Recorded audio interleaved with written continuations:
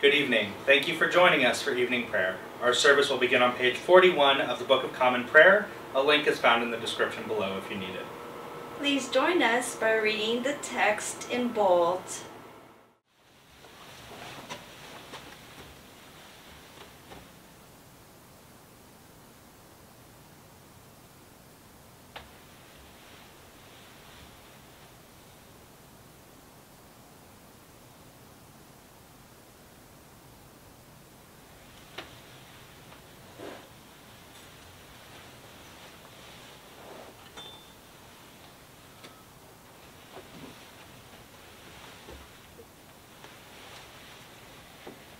Jesus spoke to them, saying, I am the light of the world. Whoever follows me will not walk in darkness, but will have the light of life.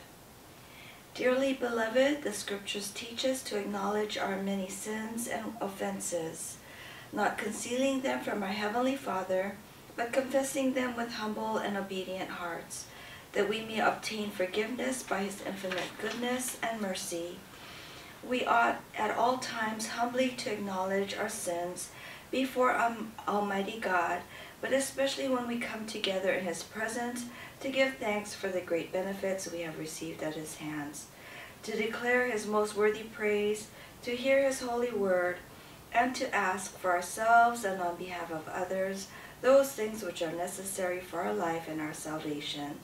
Therefore, draw near with me to the throne of heavenly grace. Almighty and most merciful Father, we have erred and strayed from your ways like lost sheep. We have followed too much the devices and desires of our own hearts. We have offended against your holy laws. We have left undone those things which we ought to have done, and we have done those things which we ought not to have done. And apart from your grace, there is no health in us. O Lord, have mercy upon us Spare all those who confess their faults. Restore all those who are penitent. According to your promises, declare to all people, in Christ Jesus our Lord. And grant, O most merciful Father, for his sake, that we may now live a godly, righteous, and sober life, to the glory of your holy name. Amen. Grant to your faithful people, merciful Lord, pardon and peace, that we may be cleansed from all our sins and serve you with a quiet mind. Through Jesus Christ our Lord. Amen. Amen.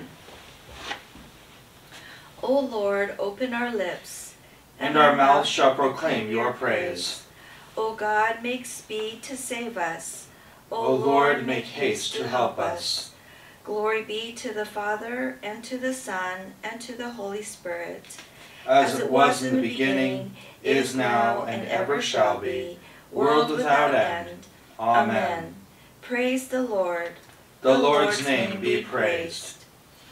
O gladsome light, pure brightness of the ever-living Father in heaven, O Jesus Christ, holy and blessed, now as we come to the setting of the sun, and our eyes behold the vesper light, we sing your praises, O God, Father, Son, and Holy Spirit. You are worthy at all times to be praised by happy voices. O Son of God, O Giver of life, and to be glorified through all the worlds. Our psalm is Psalm 89 on page 386, 20 to 29. I have found David my servant. With my holy oil have I anointed him. My hand shall hold him fast, and my arm shall strengthen him. The enemy shall not be able to do him violence. The son of wickedness shall not hurt him. I will smite his foes before his face, and strike down those who hate him. My faithfulness and my mercy shall be with him and in my name shall his horn be exalted. I will give him dominion over the sea, and with his right hand shall he rule the rivers. He shall say to me, You are my Father, my God, and the rock of my salvation. and I will make him my firstborn, higher than the kings of the earth. My mercy will I keep for him forever, and my covenant shall stand fast with him. His seed will I make to endure forever, and his throne as the days of heaven. Glory be to the Father, and to the Son, and to the Holy Spirit, as it was in the beginning, is now, and ever shall be, world without end. Amen.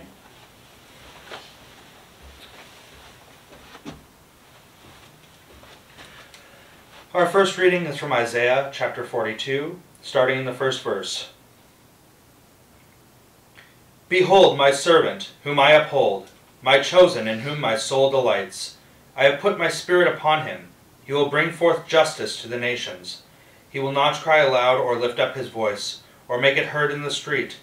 A bruised reed he will not break, and a faintly burning wick he will not quench. He will faithfully bring forth justice. He will not grow faint or be discouraged till he has established justice in the earth, and the coastlands wait for his law.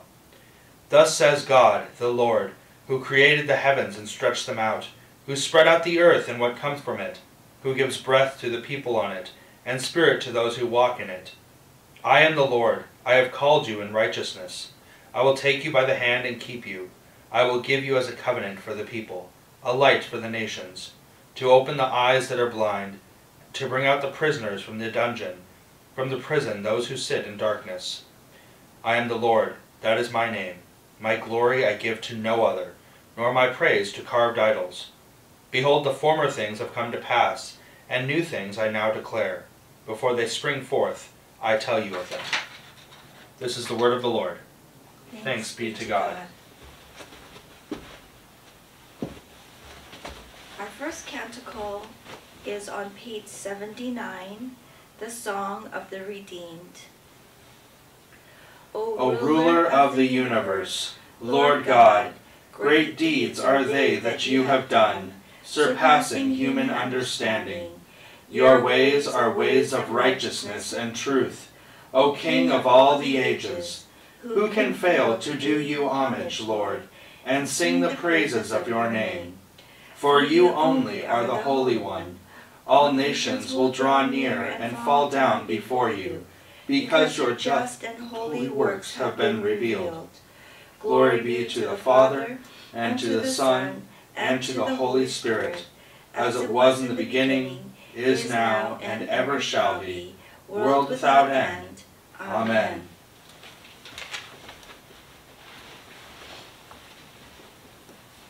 Our second reading is Acts 10 34 to 38. So Peter opened his mouth and said, Truly I understand that God shows no partiality, but in every nation anyone who fears him and does what is right is acceptable to him.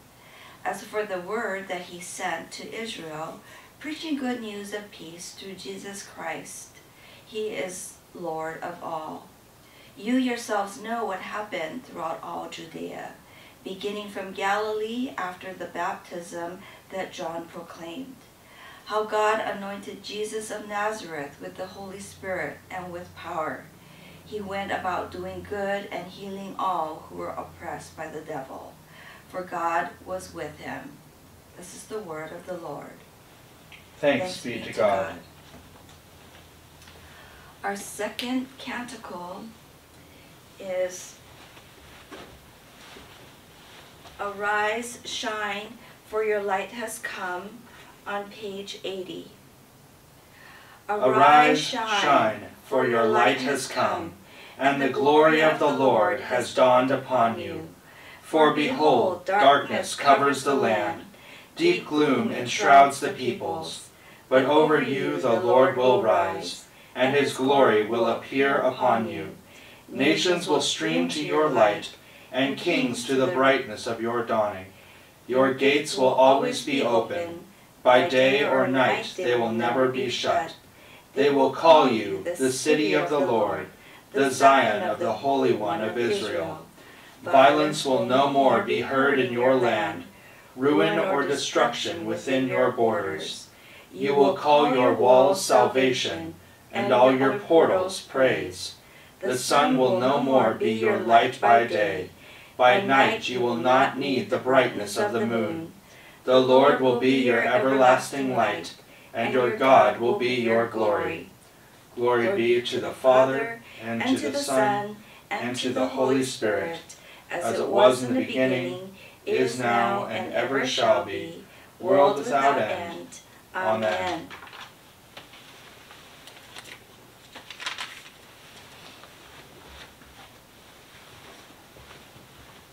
Next reading is Luke 3 15 to 22. As the people were in expectation, and all were questioning in their hearts concerning John, whether he might be the Christ, John answered them all, saying, I baptize you with water, but he who is mightier than I is coming, the strap of whose sandals I am not worthy to untie. He will baptize you with the Holy Spirit and fire. His winnowing fork is in his hand, to clear his threshing floor and to gather the wheat into his barn. But the chaff he will burn with unquenchable fire. So with many other exhortations, he preached good news to the people. But Herod the Tetrarch, who had been reproved by him for Herodias, his brother's wife, and for all the evil things that Herod had done, added this to them all, that he locked up John in prison. Now when all the people were baptized, and when Jesus also had been baptized and was praying, the heavens were opened, and the Holy Spirit descended on him in bodily form, like a dove, and a voice came from heaven, You are my beloved Son. With you I am well pleased. This is the word of the Lord. Thanks, Thanks be, to, God. God.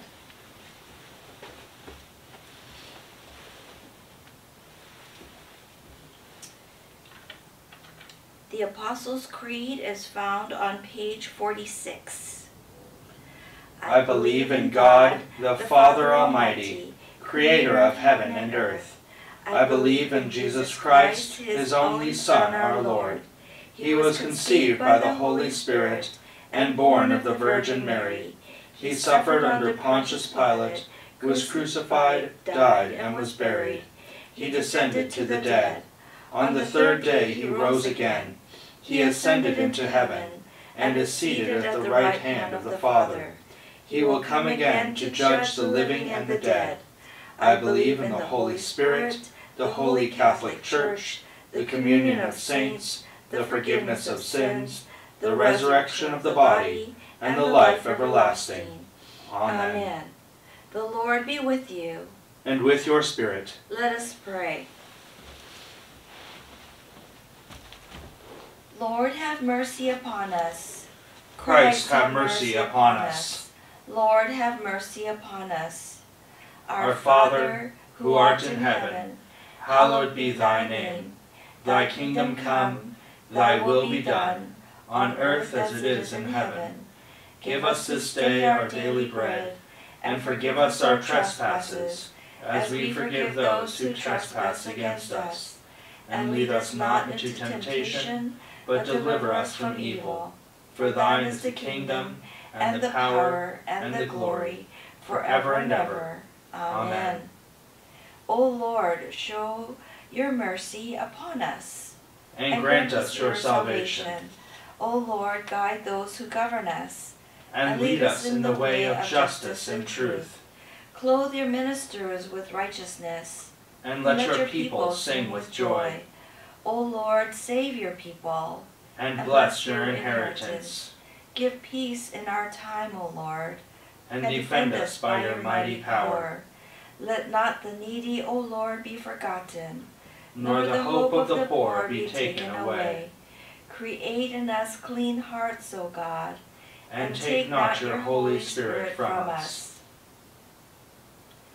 O God, the source of all holy desires, all good counsels, and all just works, give to your servants that peace which the world cannot give, that our hearts may be set to obey your commandments, and that we, being defended from the fear of our enemies, may pass our time in rest and quietness through the merits of Jesus Christ our Savior. Amen. Amen. Keep watch, dear Lord, with those who work or watch or weep this night, and give your angels charge over those who sleep. Tend the sick, Lord Christ, give rest to the weary, bless the dying, soothe the suffering, pity the afflicted, shield the joyous, and all for your love's sake. Amen. Amen.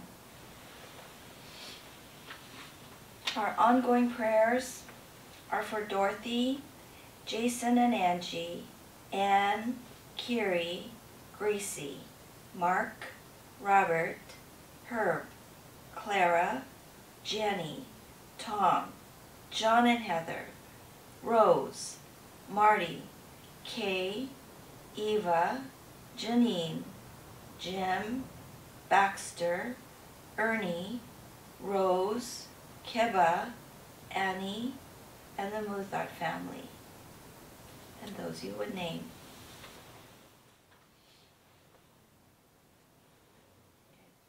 And to hear your word for us.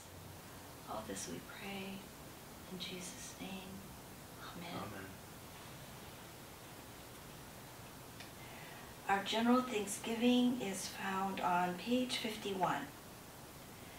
Almighty Almighty God, God, Father of all mercies, We, your unworthy servants, give you humble thanks for all your goodness and loving kindness to us and to all whom you have made. We bless you for our creation, preservation, and all the blessings of this life, but above all for your immeasurable love. in the redemption of the world by our Lord Jesus Christ, for the means of grace and for the hope of glory. And we pray, give us such an awareness of your mercies, that with truly thankful hearts we may show forth your praise, not only with our lips, but in our lives, by giving up ourselves to your service, and by walking before you in holiness and righteousness all our days. Through Jesus Christ our Lord, to whom with you and the Holy Spirit be honor and glory throughout all ages. Amen. Let us bless the Lord. Thanks be to God. Glory to God, whose power working in us can do infinitely more than we can ask or imagine. Glory to Him from generation to generation in the church and in Christ Jesus forever and